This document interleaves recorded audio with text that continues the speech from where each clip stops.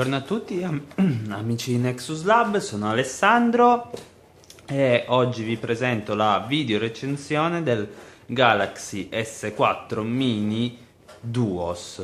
Eh, innanzitutto ringrazio gli stocchisti per averci fornito lo smartphone eh, che abbiamo potuto provare per molto tempo perché ci interessava particolarmente una soluzione dual SIM eh, ispirata al top di gamma di quest'anno di Samsung.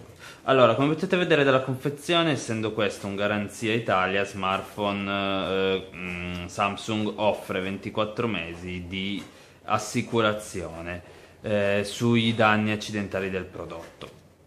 Andiamo ad aprire la confezione, ho già tolto lo smartphone che tra un po' Vedremo, allora, confezione interamente realizzata da materiali eh, riciclati, ovvero carta e cartone. Eh, lo sforzo che eh, apprezzo particolarmente in Samsung, che potrebbe benissimo utilizzare carta normale, ma è già un passo in avanti verso l'ottimizzazione dei materiali. Caricabatterie è piuttosto classico con eh, clavetto USB, micro USB condiviso e cuffie in ear con i vari gommini. Cuffie classiche di Samsung ormai troviamo sempre eh, queste cuffie in qualsiasi device dell'azienda sudcoreana. Cuffie di buona qualità, come ben sapete, io purtroppo non sopporto molto le in-ear quindi dopo eh, 5 minuti di utilizzo le devo togliere. Allora, questo è l'S2OS, eh, come potete vedere il design è quello dell'S4 normale in 4.3 pollici di display.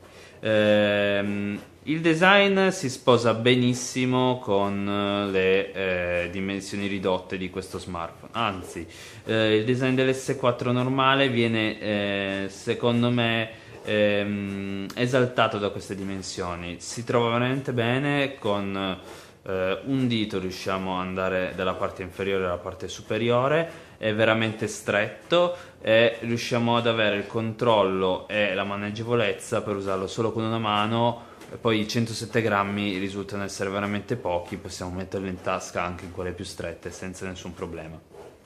Lato sinistro abbiamo il bilanciere del volume, lato destro abbiamo tasto di blocco, sblocco e spegnimento del device. Parte superiore abbiamo il microfono per la soppressione dei rumori, il jack da 3,5, mentre la parte eh, inferiore abbiamo il microfono e il eh, connettore micro USB. Vi apro un attimo la cover, eh, cover realizzata in policarbonato come per praticamente tutta la serie Galaxy S4 e tutta la famiglia. Allora, batteria da 1900 mAh, ci tornerò dopo. Allora, vi faccio vedere come si compone la struttura. Micro SD fino a 64 GB, SIM 1, SIM 2. Eh, SIM classiche, non micro... Um, eh, non ehm, mini, es, eh, mini eh, sim ma eh, micro sim. Le sim vengono gestite in contemporanea. Grande vantaggio di questo smartphone eh, appunto è quello di poter gestire eh, du, per esempio due operatori differenti in contemporanea in modo da poter chiamare risparmiando qualcosa oppure come ho fatto io eh, ho inserito quella di lavoro e quella personale in modo da poter avere una gestione ottimizzata dei due numeri senza portarsi soprattutto appresso due smartphone distinti. Andiamo ad accendere il Galaxy S4 mini vi dico già subito che abbiamo uh, non un hardware identico come design, ma uh, proporzionato alla gamma. Uh, questo infatti Samsung lo piazza come un smartphone di fascia medio, medio-alta inizialmente, visto che il prezzo all'uscita era di 399, adesso lo troviamo anche a 320-330 euro. Allora, fin da subito differenze con l'S4 normale. Non abbiamo la sensibilità del touch a distanza. Dovremo per forza eh, toccare lo schermo per eh, interagire col device. Quindi ci sono eh, alcune limitazioni. Un'altra ehm, caratteristica, vi mostro un secondo l'interfaccia della fotocamera. Partirei subito da questa questa classicissima eh, se avete avuto un Samsung vi ci ritroverete subito. Menu in alto a sinistra con le varie opzioni. Abbiamo mh, mm, la possibilità di autocondividere eh, di impostare un timer di avere le diverse modalità tra cui vediamo scatto multiplo il volto migliore l'audio scatto che ehm, si presenta anche in questo S4 mini, la panoramica classica, la sportiva, la notte, l'automatica, bellezza volto, scatto migliore, scatto multiplo. Eh, manca ehm, con la modalità, adesso purtroppo non mi sfugge il nome, ehm, soprattutto nelle azioni sportive o per esempio nelle automobilistiche dove viene fatto un multiplo scatto e poi unito in un unico in modo da avere un, in un unico scatto il movimento del soggetto. Eh, purtroppo eh, in questo device ci sono meno modalità. Foto, eh, sensore da 8 megapixel, come potete vedere possiamo personalizzare direttamente, mettere qualche filtro eh, da 8 megapixel metto un attimo il Nexus piuttosto oh, buone anche se i colori allora è molto luminosa la fotocamera ma i colori sono leggermente spenti. Info immagine potete vedere il colore è un po' spento. Come potete vedere non abbiamo neanche la transizione tramite il sensore prerogativa che rimane sull'S4 standard. Quindi eh, qualche differenza dal punto di vista funzionale c'è, eh, probabilmente voluta, visto che la transizione non avrebbe, ehm, non avrebbe forse inficiato su uh, parti hardware. Eh, abbiamo però anche qualche eh, feature inclusa che troviamo anche sull'S4 standard come Group Play, l'applicazione che ci consente, adesso non ho mh, mm, altri dispositivi Samsung Galaxy a, a disposizione, però ci consente di eh, condividere eh, contenuti multimediali eh, semplicemente appunto aprendo Google Pay e individuando nel raggio di azione del telefono eh, un device compatibile. Troviamo Chaton, praticamente il WhatsApp di Samsung, eh, ormai conosciamo benissimo, le Samsung Apps, Samsung Hub, tutti eh, per contenuti multimediali. Abbiamo inoltre eh, la presenza di due browser web, eh, quello denominato Internet, che è quello che installa Samsung, e Chrome, il classico Chrome. Eh, tra i due eh, non c'è eh, praticamente differenza. Andrei su Nexus Lab, vi dico subito che ho un, qualche problema alla DSL, quindi se trovate lentezza ehm, non è tanto dovuta al telefono quanto alla velocità della connessione purtroppo. Eh, lavoro in corso, eh, ci dovete scusare un attimo. Allora, non attivo, eh, impostiamo, mi sono dimenticato di dirvi, nel mentre che vado sul menu abbiamo anche la stessa disposizione dei tasti, abbiamo i due soft touch con quello delle opzioni e quello indietro e il tasto ehm, home fisico, classico, molto comodo rispetto per esempio a quello degli LG ha la grandezza giusta e il feedback giusto, mentre in altri telefoni eh, abbiamo purtroppo qualche problema. Andiamo sulla visualizzazione desktop, navigazione perfetta, l'hardware mm, mm, che non ha le medesime prestazioni dell'S4 standard, però si dimostra comunque sufficiente per fare qualsiasi cosa, vi abbasso leggermente la luminosità che è automatica, però in base alla nostra impostazione eh, lui ehm, sarà più su una soglia luminosa o più su una soglia scura a seconda della impostazione che noi metteremo. Come potete vedere ha già allineato il testo, ha già caricato la pagina. Non abbiamo mh, mm, grandi puntamenti, però qualche volta può capitare.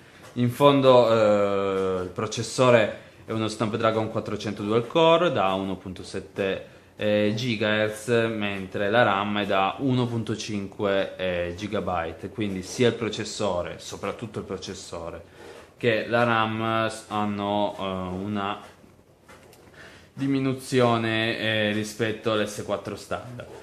Um, display invece, display che eh, si conferma ottimo, uh, praticamente non ha differenza a livello qualitativo con l'S4 uh, classico, uh, poiché la risoluzione è inferiore, 960x540 pixel, ma in 4.3 pollici praticamente la densità si mantiene eh, costante.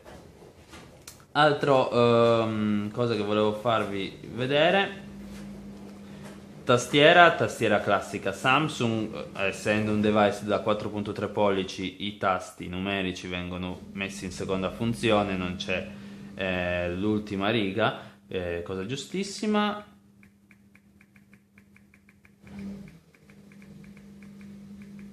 Tastiera perfetta, praticamente paragonabile a, Android, a quella di Android stock. Eh, non presenta grandi eh, personalizzazioni, cosa che sinceramente io apprezzo. Ehm, torniamo indietro, volevo farvi vedere il dialer del telefono, ormai l'interfaccia Samsung la sappiamo menadito, come potete vedere abbiamo le liste, i gruppi, il telefono e la ricerca eh, veloce eh, tipo casa lui troverà in automatico cliccando anche solo due dita. Questa è l'intera rubrica che si può scorrere in due modi.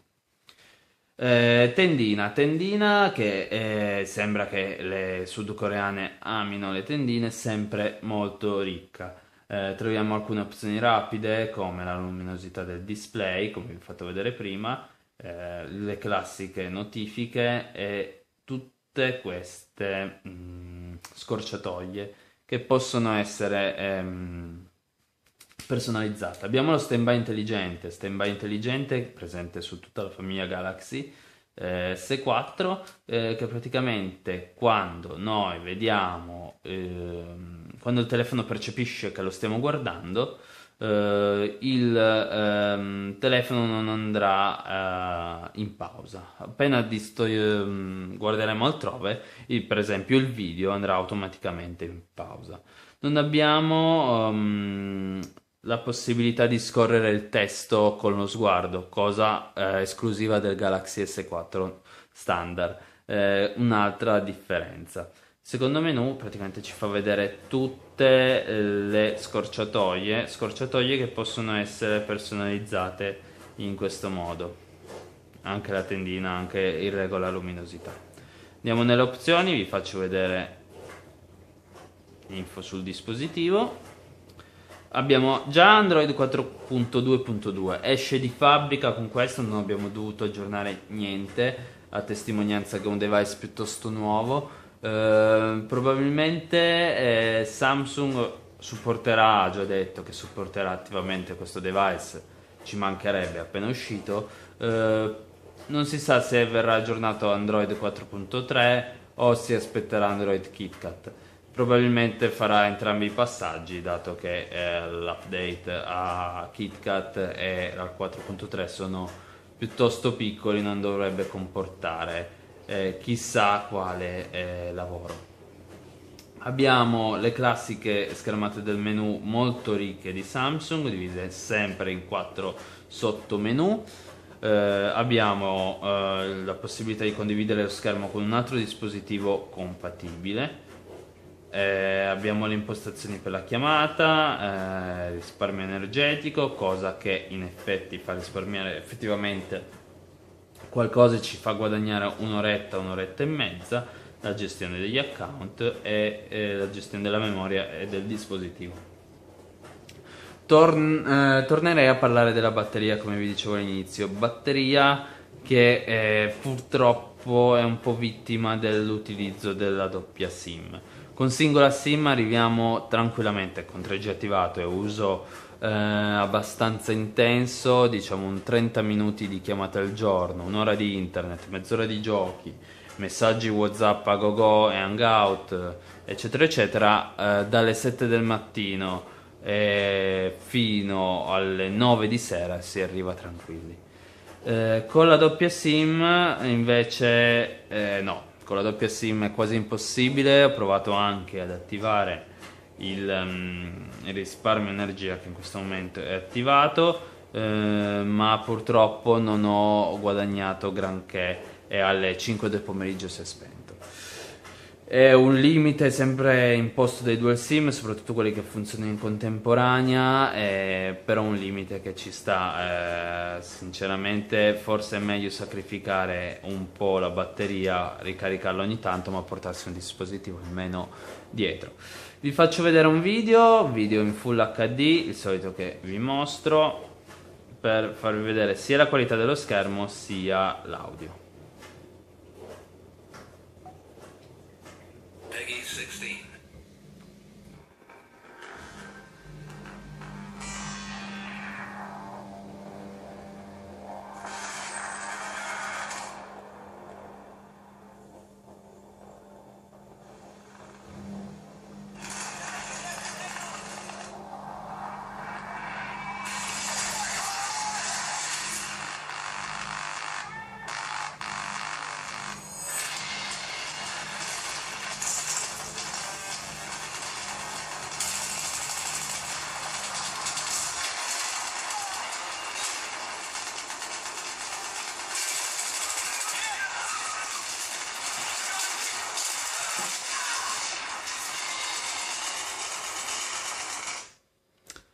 Allora, come potete vedere, eh, tra l'altro vi mostro la funzione di PIP, Picture in Picture, che ci consente di avere due schermi in contemporanea e poter guardare eh, il video anche facendo altro. Eh, cosa che testimonia comunque l'ottimizzazione del sistema operativo, che appunto è molto fluido e anche un video in Full HD piuttosto pesante riesce ad amministrarlo molto bene. Ehm, chiudiamo il, il video. Come potete vedere, almeno dal mio punto di vista, il display è veramente ottimo. Eh, mantiene le qualità dell'AMOLED, eh, AMOLED che a me piacciono sinceramente, ha qualità diverse rispetto a un IPS, colori molto molto più vivi eh, non naturali ma molto accesi e neri eh, veramente eccezionali. Ehm, mentre l'audio, l'audio è buono, abbastanza fedele, un po' basso. L'altoparlante di sistema in viva voce purtroppo è insufficiente, soprattutto in auto. Um, volevo farvi vedere come ultime cose l'interfaccia e la gestione delle home. Praticamente facendo un PC in potremmo vedere le diverse home, aggiungerne fino a un massimo di, ehm, di 7 eh, e scegliere quale fare home page. Inoltre abbiamo eh, la possibilità di impostare lo sfondo, di creare una cartella e applicazioni widget, andare direttamente nel menu. Abbiamo la divisione per widget, la divisione per applicazioni e quelle, eh, le app appena scaricate. Allora, riassumendo, eh, questo Galaxy eh, S4 Mini Duos è un ottimo uh, device, forse inizialmente un po' caro, 400 euro erano un po' troppi per l'hardware eh, offerto, ma è una soluzione perfetta per quelli che vogliono avere un dual SIM veloce, funzionale, bello, leggero e comodo da portarsi dietro. L'unica cosa bisognerà mettere in conto, soprattutto se avete una giornata lunga, piena, eh, in cui il cellulare vi serve spesso, eh, di eh, collegarlo un attimo in macchina o al computer o una presa elettrica durante metà giornata perché la gestione delle due sim è abbastanza esosa. Per il resto ehm, consigliatissimo, 300 euro è un prezzo abbastanza giusto lo si trova poco più, poco male, eh, veramente forse eh, il miglior dual sim sul mercato in questo momento. Speriamo solo che Samsung mantenga, eh, mantenga il supporto per il sistema operativo a lungo perché se lo merita. Un saluto da Alessandro per Nexus Lab.